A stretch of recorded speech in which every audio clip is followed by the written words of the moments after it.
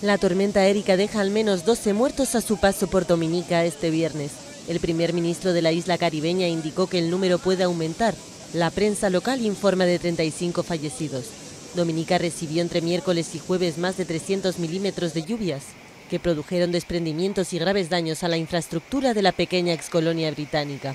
Erika golpeaba después República Dominicana mientras Florida declaró el estado de emergencia por si se arrimara a su territorio.